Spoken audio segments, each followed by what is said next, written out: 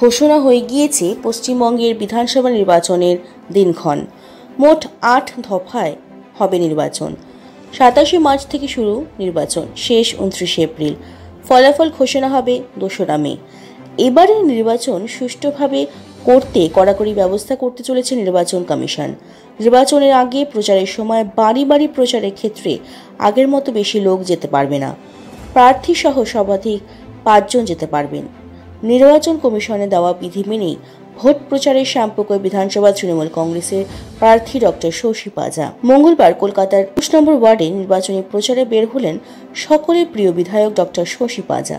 প্রথমে স্থানীয় এক মন্দিরে পুজো করতে দেখা যায় প্রিয় বিধায়ককে। এরপর একে একে এলাকার প্রতিটি বাড়িতে গিয়ে মানুষের জনসংযোগ বাড়ানোর চেষ্টা করেন। কোথাও পুষ্পবৃষ্টি করে কোথাও চায়ের দোকানে বসে জনসংযোগ বাড়ানো হয়। এর সাথে চলতে থাকে মাইকের ঘোষণা নারী ও পুরুষ পথ চলতি মানুষের এদিন লিফলেট বিতরণ করা হয় এদিন হাজির ছিলেন ওয়ার্ড সভাপতি পাপতি ওয়ারি তিনি জানিয়েছেন মানুষের ভালো সাড়া পাওয়া গিয়েছে আগামী দিনে বাংলার মানুষ মুখ্যমন্ত্রীকে সাথ দেবে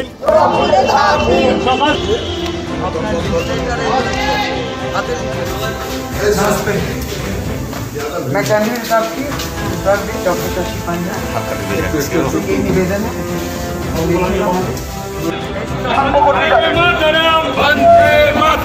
সকাল সকাল ভোট দিন। জোড়া ফুলে ছাপ দিন। শশীদিকে ভোট দিন। জোড়া ফুলে ছাপ দিন। ঘরের মেয়েকে ভোট দিন। জোড়া ফুলে ছাপ দিন। নিজের ভোট নিজে দিন। জোড়া ফুলে ছাপ দিন।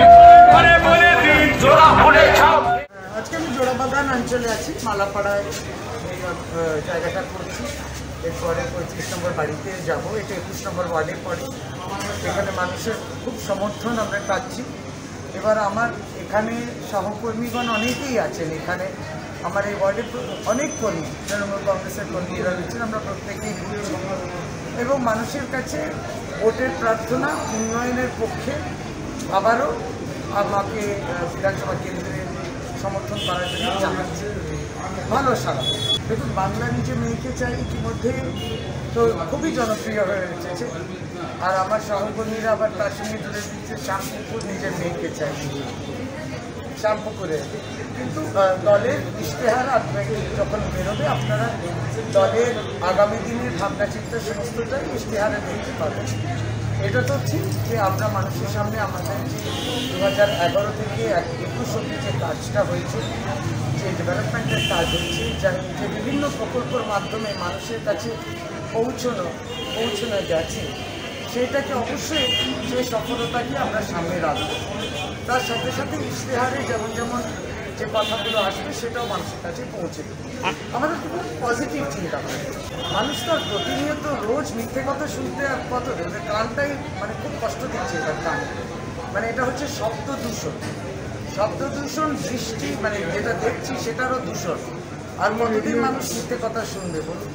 প্রথম দিকেও তাদের মনে হলো, তারপর এবার সবটাই বুঝতে পারছি এটা মিথ্যা প্রচার হচ্ছে।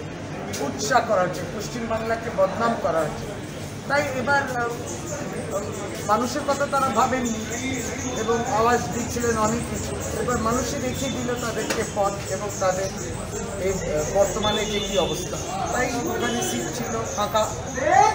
এবং সেটাকে দেখিয়েছেন যে তাদের যে হেলিকপ্টার আছে তার একটা যান্ত্রিক যোগ হয়েছে কিংবা টেকনোলজি স্ন্যাক হয়েছে যার জন্য ওরা আসতে পারছে আসলে ঢাকবে কোথায়?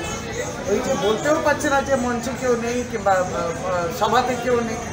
তাই জন্য বলছে যে হেলিকপ্টারে একটা টেকনিক্যাল প্রবলেম হচ্ছিল তাই জন্য এসে পৌঁছতে পারে। সেটাই হচ্ছে ব্যাপার। যারা এত বড় বড় কথা বলে এবং যখন আমরা তাই বলি বহিরগত, তারা বাস্তবে কিন্তু এই রাজ্যে তাদের সংগঠন বলতে নেই। আর যেই সংগঠনকে প্ররোচিত করে সেই দলেরই নেতৃত্ব বলছে একে মারো ওকে পেটো। এই ভায়োলেন্সের প্রতি তাদেরকে উত্তেজিত করা হচ্ছে।